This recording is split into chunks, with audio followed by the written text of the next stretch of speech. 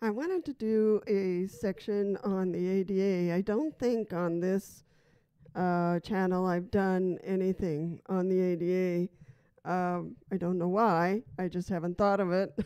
so, but I think it's time, especially now that people are moving around and traveling more.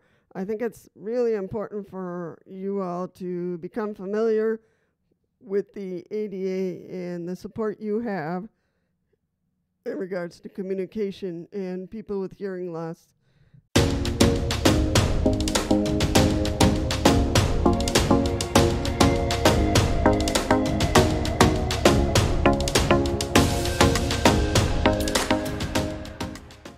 Because, especially if you're traveling through the airport and you need to communicate with all these people, if you have other disabilities that also need to be attended to, um, the the staff at the airport really need to know if you need an interpreter, if you need captioning, um, what is it that you need uh, to be able to communicate with them. So, uh, traveling from one place to another might not be a big deal for you, and you know you've done it a million times, so and you don't require any assistance.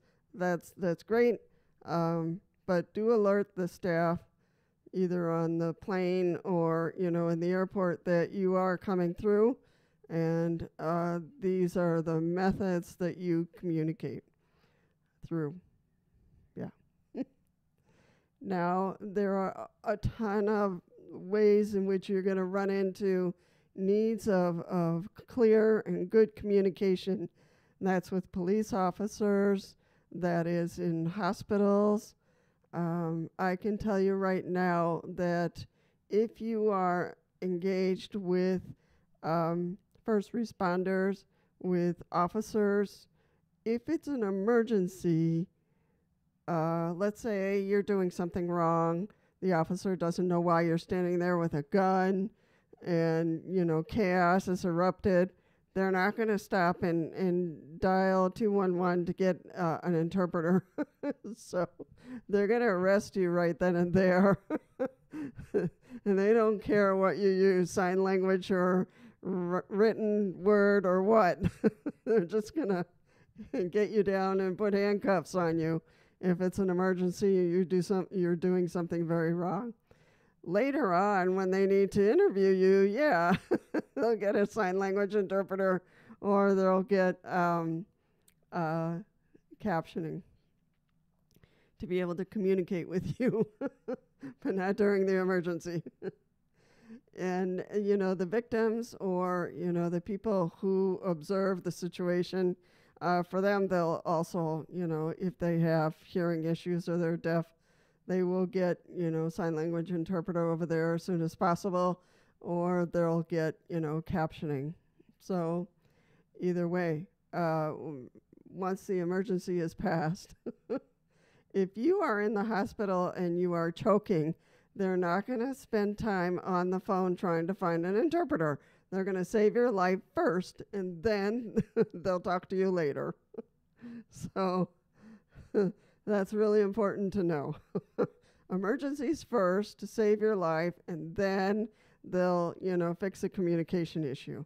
But hospitals and clinics and doctors' offices do have uh, the full responsibility to get an interpreter or um, real time captioning for you. You have to give them time because it's hard to schedule these people. Uh, there's not a whole lot of them out there, and um, it's really important for them to have time. They want to do it, but they need, for the most part, but they need time to be able to schedule them. So please give them two, three weeks, you know, to be able to call and schedule uh, an interpreter, a sign language interpreter, or real time captioning for you so that your uh, office visit or your meeting with the doctors at the hospital goes well and it's professionally done. Um, you, you don't want to miss any kind of communication. A doctor who comes in and says, I know a little bit of sign language, no, go home. go home. It's really important for you to be able to communicate you know, the medications you're allergic to, uh, you know, and any treatment that uh, is urgent for you. So, and have the correct uh, communication methods present. You know, it's not an emergency, you need to get the interpreter. So, uh, whether it's real time captioning or a sign language interpreter. So, you have all these rights, and it's important for you to know them. You know, police officers, hospitals, medical clinics.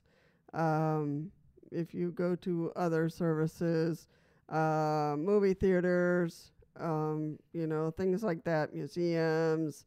So you do have rights. So it's it's really important to to understand that there's not many real-time captioning people. There's not a whole lot of uh, sign language interpreters out there, and so people really need that time to schedule them. So some people just say, no, it's not my responsibility. I don't know what to do. You know, I don't know who to call. Baloney. but you can be very happy to give them a number to, to call and schedule it. So it, a lot of education needs to be done still for the uh, deaf and hard of hearing. So really, there is on the ADA webpage at the bottom, there is, uh, if you click on communication, that's what it's called. If you click on communication down at the bottom of that page, there's going to be a blue box, a light blue box, and there it's going to give the different important sections so you can read about it, understand your rights, and know what to do next. So, um, and how to encourage the company, the organization, uh, the service provider to schedule, to go ahead and schedule a um, interpreter, a sign language interpreter, or the real-time captioning. So that that can happen. It's their responsibility. So don't don't be like, oh, I'll just bring mom. You know, I'll just bring my cousin. No, especially when it has to do with medical and serious medical issues. It's really important for you to have somebody professional there that's going to help the communication and that you um, and the communication is clear between the doctor and you. Um, and if anything goes wrong with the real-time captioning or with this, especially with a sign language interpreter, let's say the sign language interpreter is just not doing sign language, it's doing some goofy, crazy thing, you need to alert the doctor this person cannot do sign language. I don't understand them, and uh, this is, we need to reschedule. So this is really important for you to know that you have rights. The ADA protects you, but it's it's important for you to understand how how it protects you, how to use the ADA, and if things go wrong that you are with a service provider and they refuse, oh no, that's your responsibility, whatever, I don't care, uh, go to another doctor. You can you can absolutely uh, touch base with a lawyer and and make sure that they understand their their legal responsibilities in regards to the ADA. So I would hate to do that. You know, it's it's a hassle, but you know it's important for people to know about the ADA and their responsibilities in, in regards to the ADA for you and for me and for the service provider. So everybody needs to be on the same plane when it comes to communication. Um, and you can send them, if this is a new doctor, new service providers, you can send them a letter and say, this is what I need.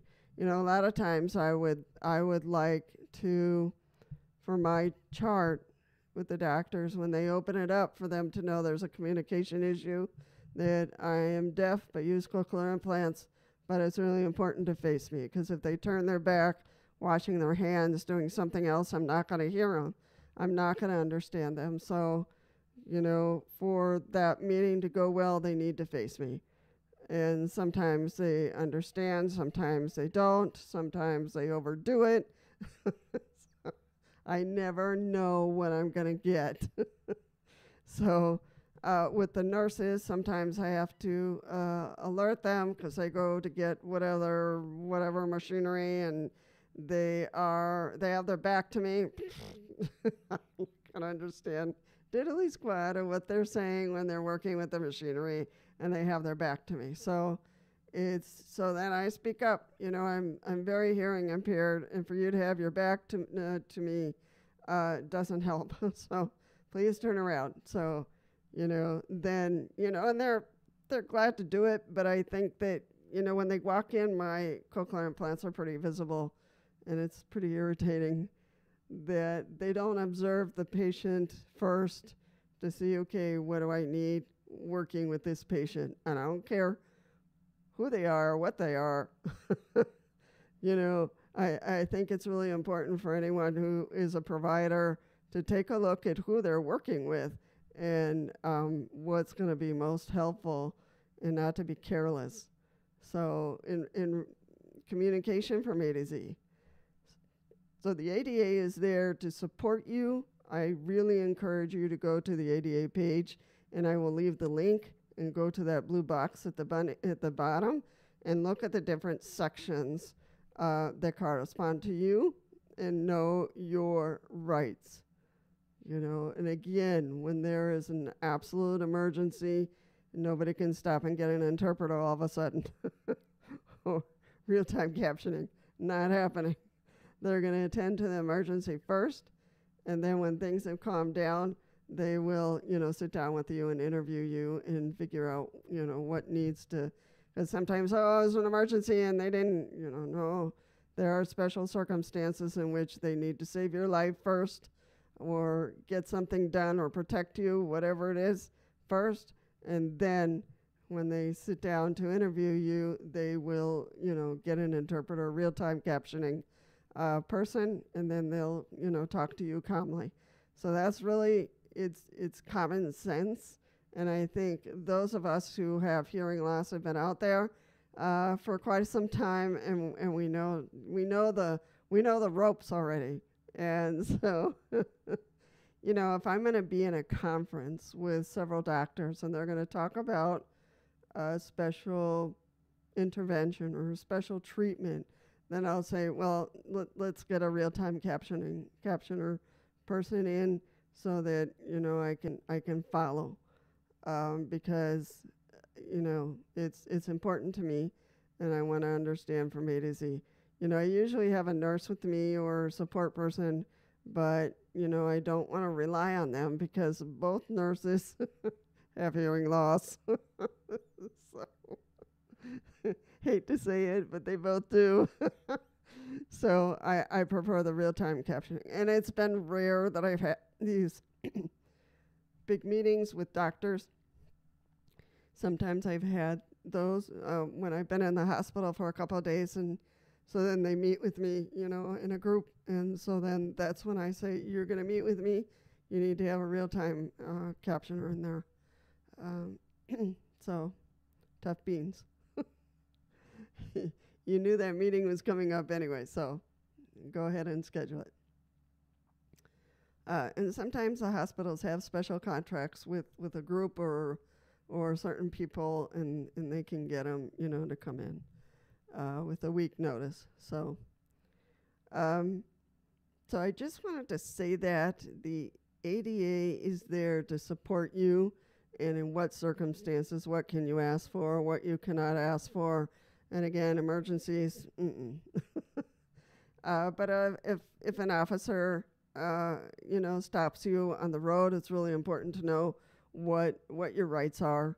Um, I have a, uh, I don't have it here. Uh, I used to have it in the car, but if an officer approached me, it was an issue because usually it was on a busy street, and so it had it had graphics on it, and the officer could point. You know, that was going too fast, or you know, they're going to give me a ticket, or um, you know, there was a weather emergency, you know, eh, whatever it was, there was graphics on there, and it, it was really cool. If I can find one, uh, I will uh, post it there. I will post a link so you can uh, copy that. And um, I think at our police station, uh, they have that now, so we can print it out. We did one here in the state of Wisconsin uh, in uh, conjoined with the police station. I don't know if the fire department You know, the fire department might have access to it too. But, you know, it's those details that are really important and tools that are really important to be able to uh, communicate with the first responders in, in, in every way, as long as it's not a critical uh, emergency. So I wanted to bring that to your attention uh, about the ADA.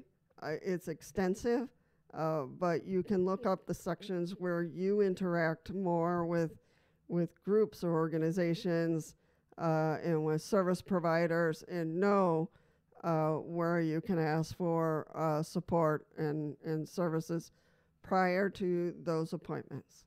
All right. So if you have any experiences that, that you want to um, share, you know, I can share one that was kind of cute. Um, I went to a restaurant.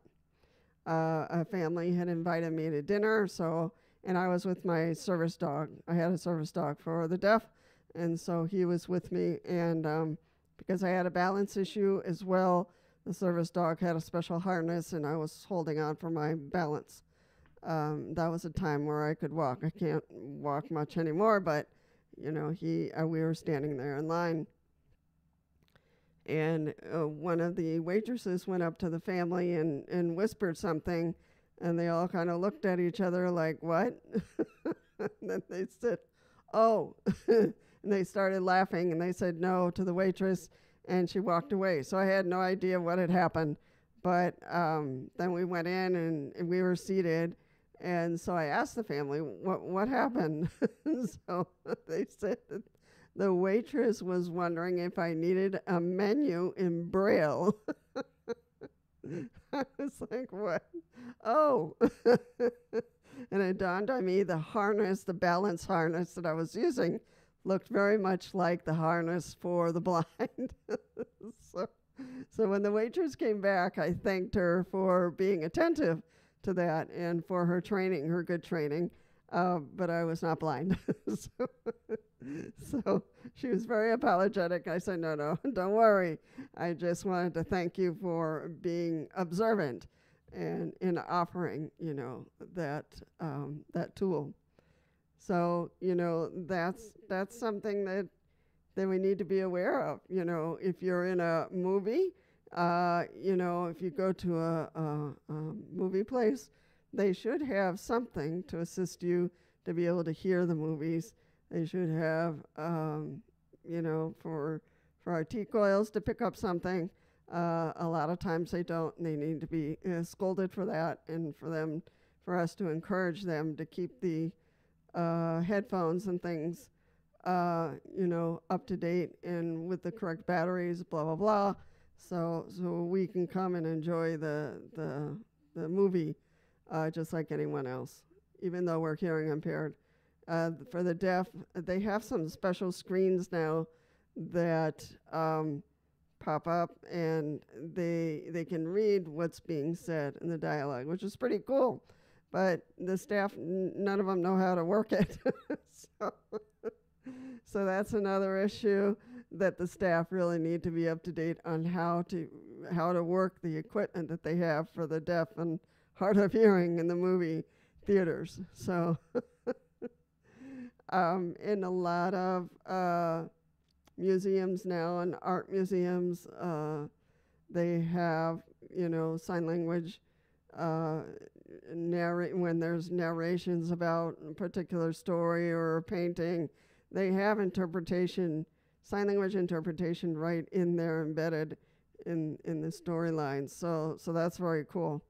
Uh, sometimes I've been able to connect directly my cochlear implant to um, the narrating piece where they're telling a story in, in the museum, and that's that's very cool. So w- yeah, there's more and more accessibility, but still a lot of education needs to happen. And so, um, you know, even in our apartments where we live, there is uh, protection for us that the landlords absolutely need to put in at least one signaler for smoke detector.